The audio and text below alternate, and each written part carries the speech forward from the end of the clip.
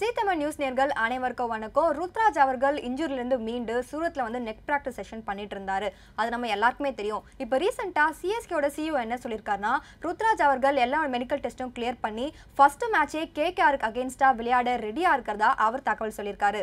இதே மாதிரி இன்ட்ரெஸ்டிங்கான ஐபிஎல் அப்டேட்ஸ் பார்க்கணுமா ஜி தமிழ் நியூஸுடன் இணைந்திருங்கள்